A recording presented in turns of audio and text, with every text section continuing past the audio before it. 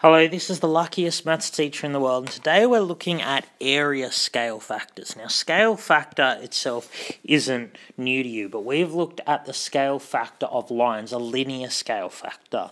But now we're going to look at what happens to the area of a shape when we apply a linear scale factor. So let's say we have a normal rectangle and it's 9 by 6. So we know the area of this rectangle, I just times the two together and I get 54 units squared, okay?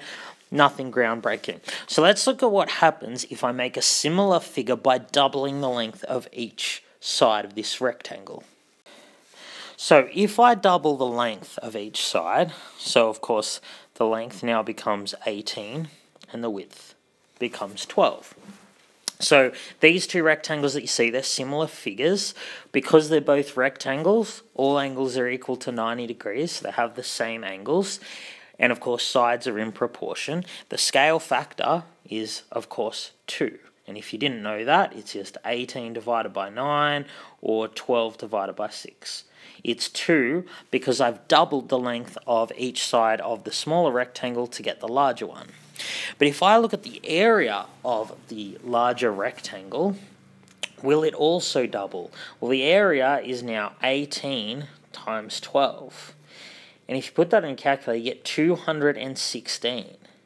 Now, 216 divided by 54 isn't 2, it's actually 4. So I have doubled the length of each side of the rectangle, but the area has multiplied by 4. And this is what we call the area scale factor. So the area scale factor is 4. So that means that to get this big rectangle, I have to multiply the area of this smaller rectangle by 4. So if I double the length of each side, I actually don't double the area, I multiply it by 4. So let's have a look at what would happen if I tripled the sides. So if I tripled the length of each side, this would now, so the length of the big rectangle would now be 27, 9 times 3, and then this side would be 18. So of course, the scale factor now, the linear scale factor, is 3. So let's look at what happens to the area. So the new area would be 27 times 18. Now, if you look, if you put this on your calculator, that's equal to 486. So, the area scale factor is 486 divided by 54, which actually equals 9. So if I multiply the length of each side of a rectangle by 3, the area is multiplied by 9. It isn't multiplied by 3. So what's going on here? Well, I'm about to tell you on the next slide. Pause and copy this down if you need. So this is the principle. If the linear scale factor is k, the area scale factor is k squared. So in our previous example, when the linear scale factor was 2, when I multiplied the lengths of, length of each side by 2, the area increased by 2 squared 4 times. When I multiplied the length of each side by 3, the area of the rectangle was multiplied by 3 squared, which is 9. So if you multiply the lengths of each side of a rectangle by k, the area will be multiplied by k squared. But the thing is, this works for any 2D shape. Now the reason that this works is because when you find area, you're multiplying one dimension by another. So you're multiplying the first side by k, but then you're multiplying the second side by k again. It works for anything. So we know, for example, the area of a triangle is half times base times height if I multiply the base and the height by, say, 4, so the area will be now half and the base becomes 4b. It's 4 times as long and the height is 4 times as high. So the area is now half times 4b times 4h. See, I'm timesing by 4 twice. And that's the same as taking the area and timesing by 4 squared.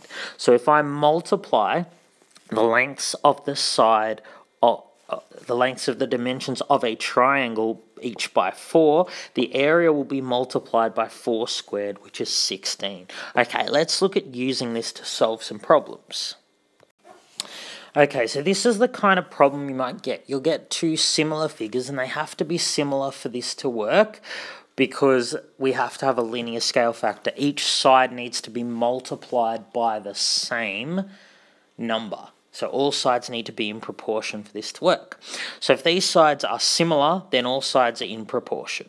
So if the area of the first star is 300, we can find out the area of the second star without having to do any really hard calculations. So the first thing we need to do is we need to find the linear scale factor, which I call SF.